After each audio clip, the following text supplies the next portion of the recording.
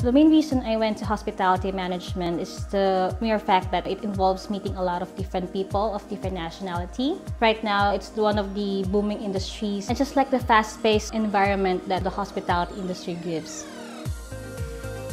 Ultimately, it is the industry that are our clients, so we need to make sure that all our students are up to date. Since we moved to the city, we're very, very lucky that a lot of the hotels, cafes and restaurants support us.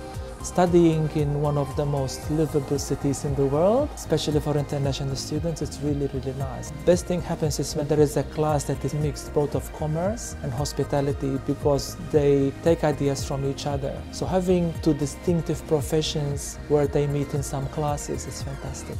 My experience in Box Hill has taught me a lot with the different people that I've met, studying in Box Hill of different nationalities, as well as different teachers of different background.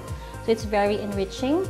I'm really happy with the program that Box Hill gives. So not just the teachers, but the whole community itself has been very supportive with the students.